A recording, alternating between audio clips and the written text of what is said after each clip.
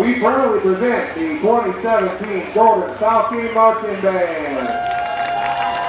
This evening's performance will feature selections from our competition show, Into That Good Night. It includes the music numbers Quiet Nights and Quiet Stars, In the Air Tonight, Enter Sandman, and Starry Starry Night. The band is led on the field by field commander Jared Griffith and Cicely Reed.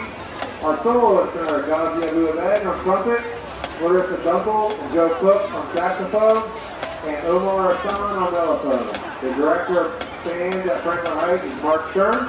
Assistant directors are Robert Radlin and Sam Hershey. The percussion instructor is Kyle Fox, and the color guard advisor is Madison McCoy. We hope you enjoy this evening's performance.